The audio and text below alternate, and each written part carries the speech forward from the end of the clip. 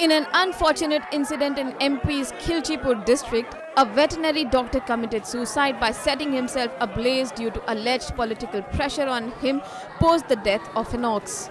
The incident took place in Dhawnkheda village of Khilchipur, where veterinary Dr. Jagdish Malakar had performed a sterilization surgery on an ox.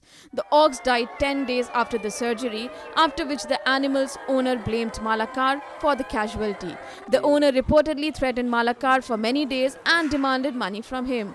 BJP MLA Hazari Lal Dangri is also said to have threatened the doctor.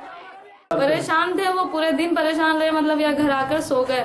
पूरे दिन सोए और रात तक सोए। और रात को बारह बजे बाद जब इन सब में भी नहीं थी खाना खाया था खाना नहीं खाया तीन दिन हो गया था उन्हें खाना खाया। जब खाने खाने की बोलो तो बोल रहे थे बोले मुझे तो भूख नहीं लग रही इच्छा नहीं हो रही। मतलब काफ़ी डिप्रेशन में थे। हाँ बहुत परेशान थे मतलब उस दिन तो वो जिस दिन उन्हें आग लगाई उस दिन बहुत ज़्यादा ही थे आग कहाँ पे लगाई थी? ऊपर के कमरे में। ऊपर के कमरे में जाके? हाँ। अच्छा कितनी बजे रात को? बारह बजे रात को। आपको? कैसे पता लगा कि ऊपर वो जब छोट बड़ा वाला भैया वो यहीं पे सो रहा था तो उनके चीखने की आवाज़ आई और उनने वो मतलब बाहर आए होंगे ना तो उसने देखा तो वो गया वहाँ पर उठकर और वो ये रजाई ओढ़ कर बैठा सो रहा था वो रजाई भी लेके गया उसने बुझाई। Relatives claim that Malakar was being threatened even after the post-mortem report had proved the death of Ox was because of an illness and not because of the surgery. वो ड्यूटी दौरान कुछ उनके साथ कुछ हुआ उस वजह से वो है ना कुछ टेंशन में थे।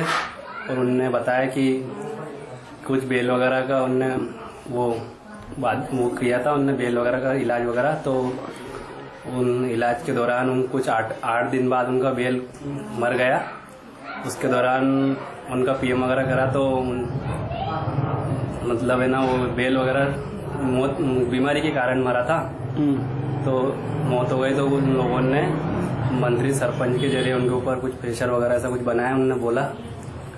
और विधायक साहब वगैरह का फ़ोन आया ऐसा बताया उनने On the other hand, the MLA has denied any involvement. Police are investigating the case. और वो, वो और मैं तो उसको जानता भी नहीं हूँ सर आपकी आपकी चर्चा हुई थी फ़ोन पर उस, उनसे? फ़ोन पर मेरी बात हुई थी। तो मैंने कही थी उन, मैंने उससे पूछी मैंने कि भैया तेने बेद का इलाज किया क्या?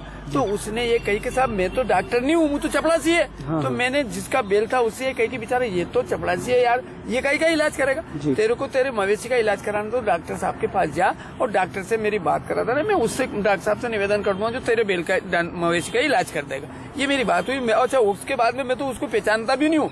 कि वो कौन चपड़ासी है कि कहाँ कहाँ का रहने वाला है क्या है मैं उसको जानता ही नहीं।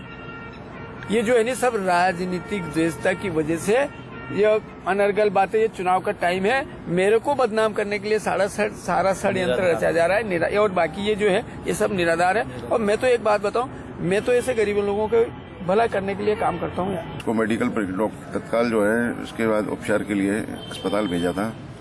जहाँ डॉक्टर से इसके मृत्युपूर्व कथन लेने के प्रयास किए गए, लेकिन उस स्थिति में न होने के कारण इसके बयान नहीं हो सके पावर्ड बाय NNIS.